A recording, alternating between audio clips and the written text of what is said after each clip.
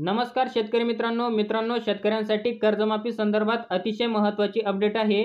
मित्रांनो भूविकास बँकेच्या कर्जमाफीच्या प्रतीक्षेत असणाऱ्या राज्यातील चौतीस हजार सातशे अठ्ठ्याऐंशी शेतकऱ्यांसाठी कर्जमाफी संदर्भात अतिशय महत्त्वाचा निर्णय घेण्यात आला आहे. या संदर्भातील सविस्तर माहिती नक्की काय आहे ते आपण या व्हिडिओच्या माध्यमातून समजून घेण्याचा प्रयत्न करणार आहोत. तेव्हा व्हिडिओला कुठेही स्किप करू नका. शेवटपर्यंत नक्की बघा आणि आपण या चॅनलवरती पहिल्यांदा आला असाल तर चॅनलला सबस्क्राईब करायला विसरू नका जेणेकरून आपल्याला असेच नवनवीन अपडेट मिळत राहतील.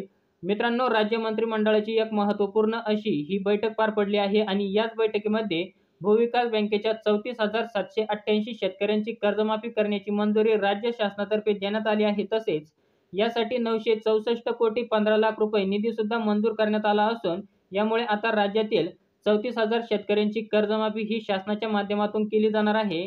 तसेच मित्रांनो यामागे जो बजेट झाला होता तर त्यामध्ये कर्जमाफीची घोषणा करण्यात आली होती आणि कर्जमाफीसाठी निधीची तरतूद सुद्धा करण्यात आली होती. परंतु त्यावेळी ठोस निर्णय झाल्यामुळे अजूनपर्यंत शेतकऱ्यांना कर्जमाफीची प्रतीक्षा होती म्हणून काल शासनाच्या माध्यमातून शेतकऱ्यांना एक आनंदाची बातमी देण्यात आली आहे ज्याच्यामुळे आता भूविकास बँकेच्या जवळपास चौतीस हजार सातशे अठ्ठ्याऐंशी शेतकऱ्यांची कर्जमाफी होणार आहे. तर मित्रांनो अशा प्रकारे भूविकास बँकेच्या संदर्भातील एक महत्त्वाची अशी अपडेट होती. मित्रांनो ज्या शेतकऱ्यांनी भूविकास बँकेकडून कर्ज घेतले होते तर अशा शेतकऱ्यांचे कर्ज हे माफ करण्यात येणार आहे आणि त्याच्यासाठी निधी सुद्धा वितरित करण्यात आलेला आहे. तर मित्रांनो आपल्याला हा छोटासा व्हिडिओ आवडला असेल तर चॅनलला लाईक शेअर सबस्क्राईब नक्की करा. आपण असेच नवनवीन योजनांचे नवनवीन अपडेट हे घेऊन येत असतो. जय हिंद जय महाराष्ट्र.